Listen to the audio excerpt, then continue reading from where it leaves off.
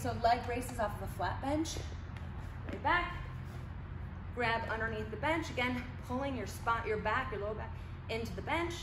I touch and lift, touch, lift, touch. And if you can lift as high as you can, right? Now, some people say they feel pulling when their feet touch. See my back comes up a little bit?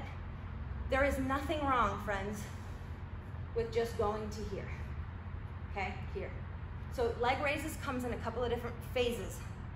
We can go push your back into the bench and just lower and raise, right? If I lower too far, my back pulls up. Want to avoid this.